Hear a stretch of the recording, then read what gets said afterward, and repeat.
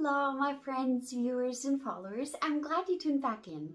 Um, this video is going to be very interesting because today I'm going to explain how one is going to pray the rosary. And I have to admit that in English, it's for me a learning experience as well. I have prayed the rosary before in English, but I'm not uh, English is not my prayer language.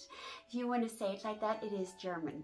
So I'm used to saying all the German ways of saying the rosary and I can say it by heart without looking it up. But in English, it's much harder for me because I'm I know what's coming, but I don't know all the words uh, as fluently and especially if I get nervous, and I do get a little nervous when I do videos then I will have to be more glued to the uh, paper when we're gonna pray together. So keep that in mind. And I also have, I'll tell you why uh, the rosary in English is prayed a little bit different than it is in German. And I will teach you the German way how to pray it because I find it very helpful. I tried it, the English version, and I tell you later on in the video why I decided to teach you the German version, which is in one way a little bit easier, even though it takes just a little bit longer. So let's get right into it, how we gotta pray the rosary.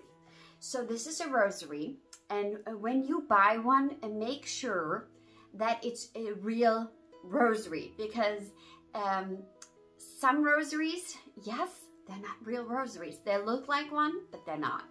So uh, you have to have the cross on the bottom, one pearl, three pearls, one pearl, and then each decade is 10 pearls long.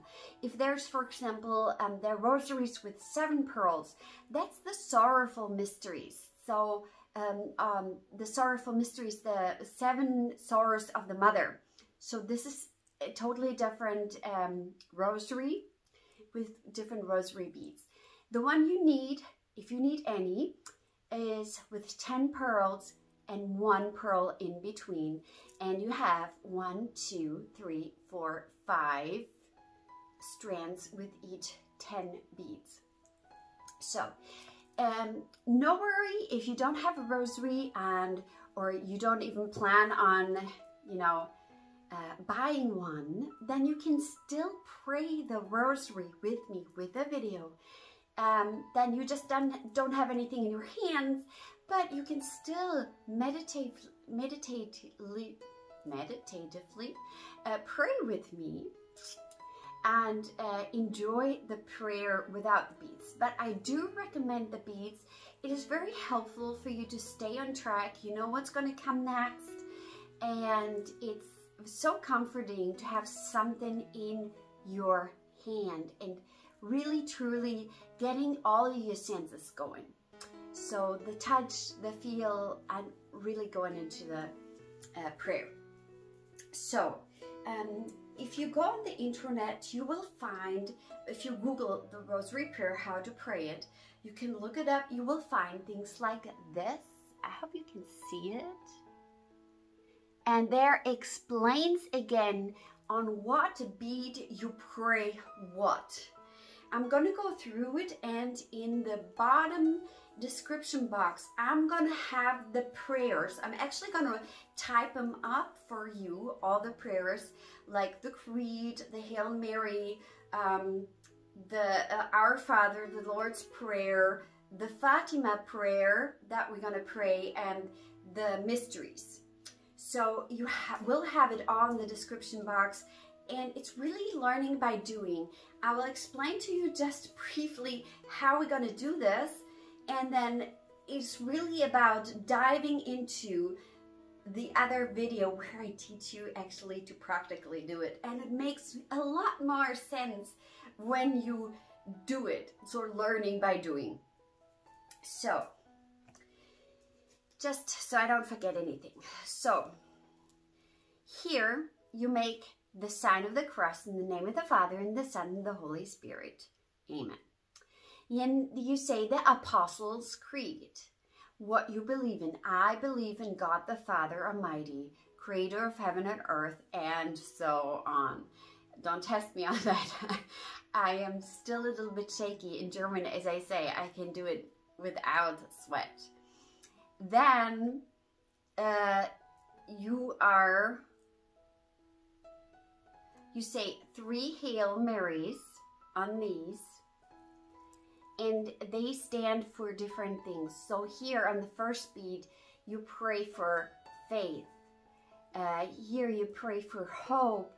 Here in English, in the English version, you pray for charity, while in the German version, you actually pray for uh, a kindling of the fire of your heart.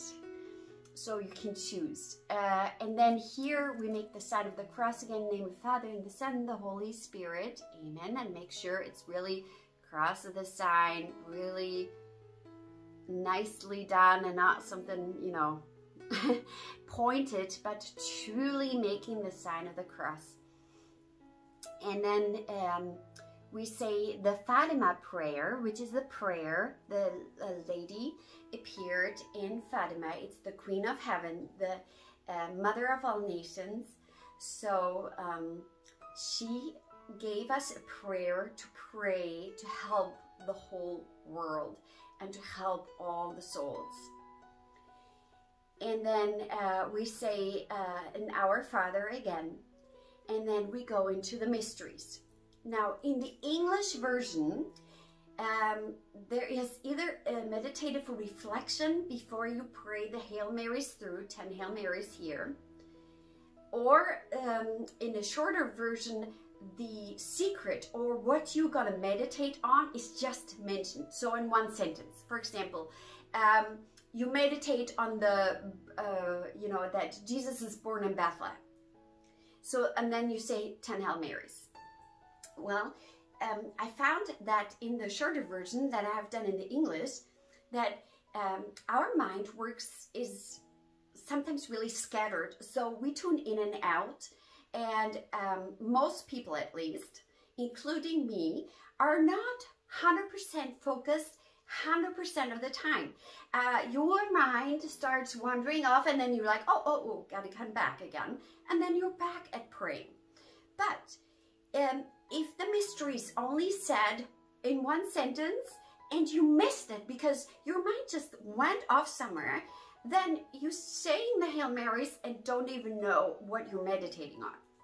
This is what I have found in the English version. This is why um, we do it the German way. I will give you a reflective text before we go into the 10 beads of Hail Marys, but we're gonna say the mystery, and I give it to you before we pray it, each one, we, we mention the mystery. So you remember each time you say out loud the mystery that you're meditating on. So I have made a list because I, of course, I had to translate it myself, uh, the mysteries. So instead of just saying, Hail Mary, full of grace, the Lord is with thee. Blessed art thou amongst women, and blessed is the fruit of thy womb, Jesus. Holy Mary,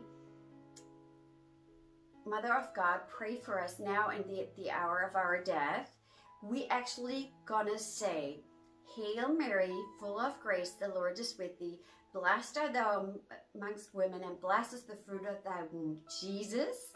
Then we mention the mystery, and then we say, Holy Mary, Mother of God, pray for us sinners now and at the hour of our death. Amen. And this is what I mean. I like, I don't know the prayer in my heart in English. In German, if you want to know how it sounds in German is, Gegrüßet seist du, Maria, voller Gnade, der Herr ist mit dir. Du bist gebenedeit unter den Frauen. Und gebenedeit ist die Frucht deines Leibes, Jesus.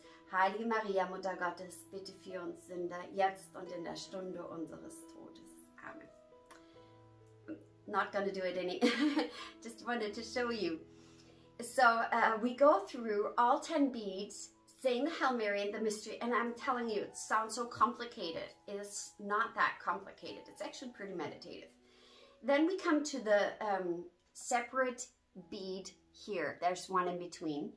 And here we do the sign of the cross again in the name of the Father and the Son and the Holy Spirit. Then we say the Fatima prayer again. And again, I have that in the description box below this video.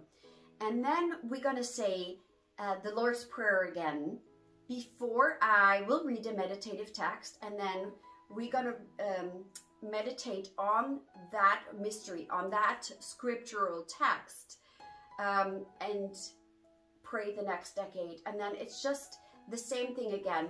You pray through this uh, mystery, then you say, um, in the name Father, and the Son, and the Holy Spirit, the Fatima prayer, Lord's Prayer, next mystery, and then you, you keep on praying. So this is all the way around until you come all the way and you close with the last uh, secret then um, we say in the name of the Father and the Son and the Holy Spirit. Again, the Fatima prayer. Again, a Lord's Prayer. And then I always end with a prayer of the Mother of Amsterdam.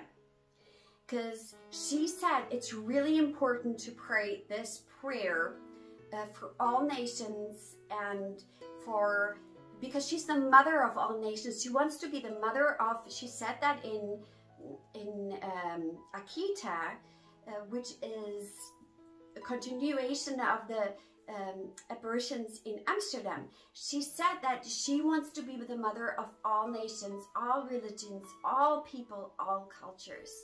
So we pray that prayer as a closing. So we have four different rosaries that reflect on different themes of Jesus' life. And as I say, it's all biblical. and if you haven't watched uh, the other videos that I have prior to this video, because this video is really, um, it leads, all the other videos lead up to this where I teach you actually to pray the rosary in preparation. So I'm answering in other videos um, questions like, well, are we worshiping Mary in this prayer? Um, is it just uh, vain repetition? Um, explaining a little bit about uh, the mother, Mary and the mother, and the distinction even, and things like that. So uh, I want you to watch the other videos prior to this. Uh, it's going to be very helpful, and I give helpful tips as well on what to concentrate when you're meditating and praying. So we're gonna do it the German way. And as I say, um, English is not my prayer language. I pray with my children, I pray by myself, and so um, I'm just so used to praying in German. I hope this was interesting to you and you're gonna be looking forward to tomorrow's video where we actually gonna start praying the rosary together. God bless you. I see you tomorrow.